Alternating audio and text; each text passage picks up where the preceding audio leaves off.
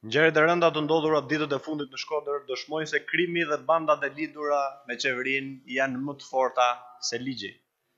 Vetëm kur bandat e lidhura me qeverinë sundojnë një qytet, ndodh që të kemi disa vrasje të njëpasnjëshme, gjobëvënie, shkatërrim prone, atentate dhe rrëmbime personash që të gjitha pa autor.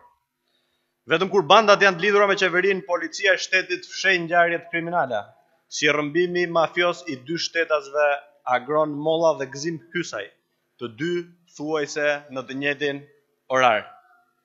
Në komunikatën e policisë, të cilën ne e disponojmë, familjarët kanë denoncuar në polici për rrëmbimin. e dy familjarëve të tyre, të dy thuajse në të njëjtin orar apo me distancë të vogël kohore nga njëri-tjetrit. Për të dy personat, Policia e Shtetit nuk ka bërë asnjë veprim, përveçse i denoncon apo i komunikon qytetarëve se si janë larguar nga shtëpia. Sot U bënë gjashtë ditë dhe ende nuk ka asnjë lajm mbi ta.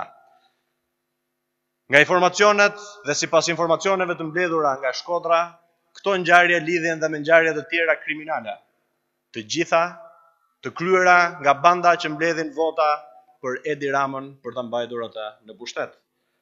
Banda e lidhur me qeverinë dhe me Edi Ramën që njihet në Shkodër si banda e Bajrajve, ka totalisht nën kontroll qytetin e Shkodrës duke krijuar të njëjtën situatë kriminale si në Durrës, Elbasan, Fier apo Vlorë.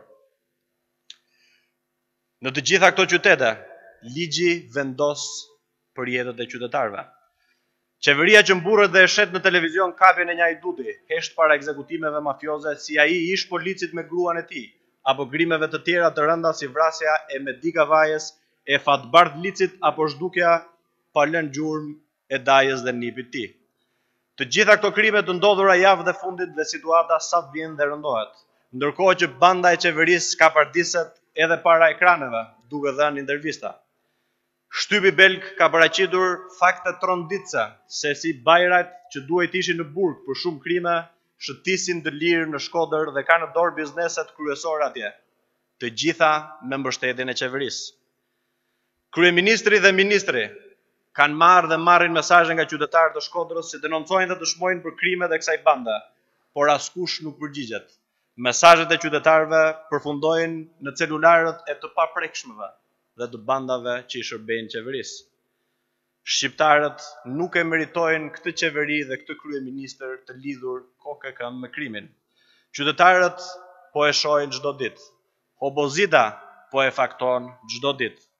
Shqiptarët meritojnë një qeveri që lufton me zero tolerancë krimin e organizuar.